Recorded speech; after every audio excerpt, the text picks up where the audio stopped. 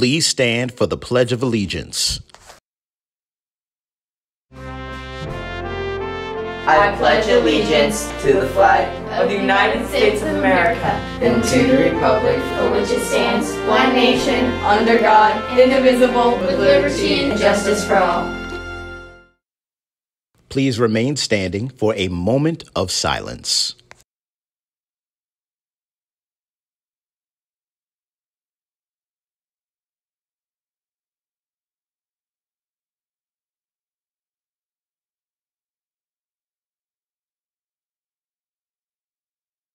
Thank you. You may be seated. Good morning, Golden Hawks. I'm Lily. It's Monday, February 20th, and here's what's happening. The Maitland Middle School PTA presents Maitland's Got Talent, our first school talent show, which will take place on March 30th here on campus. If you sing, dance, play an instrument, or do comedy or create visual art, this is your time to shine. Due to time limitations, only the best 20 participants will be chosen for this talent show. You can pick you can pick up a registration form in the main office and get more details about the event on the announcements page in Canvas. Students, remember that if you need help with Algebra 1 honors, geometry, or reading, tutoring is available on Tuesday and Thursday afternoons with Ms. Kempe. In addition, Mr. Ray- Wayne will be doing algebra tutoring on Monday afternoons and on Tuesday mornings before school. We will be right back after this.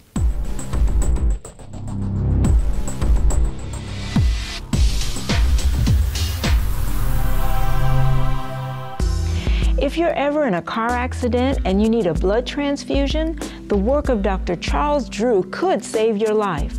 Born on June 3, 1904, Charles was the oldest of Richard and Nora Drew's five children. Growing up, he was a star athlete, an All American halfback, and captain of his college football team. After college, he decided to study medicine. He went to Canada and earned his doctorate in medicine and a master's in surgery. It was also in Canada that he received two fellowships. In 1935, he returned to the United States where he accepted a position at Howard University as an instructor in pathology. Did you know that Dr. Charles Richard Drew dared to dream and was the first person to develop the blood bank with the American Red Cross? His introduction of a system for the storing of blood plasma revolutionized the medical profession. Well, now you know. We want to send a big shout out to Mr. Olson and the student members of the Maitland Jazz Band who traveled last week to Freedom High School to participate in the District 8 Jazz Band MPAs. Our Maitland students earned an excellent rating on this year's music performance assessments. Congratulations on a, do- a job well done.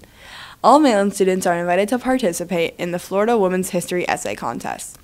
This essay contest is designed to celebrate women's history and to increase awareness of the contributions made by women in Florida, past and present. The deadline for submission is March 3rd, 2023.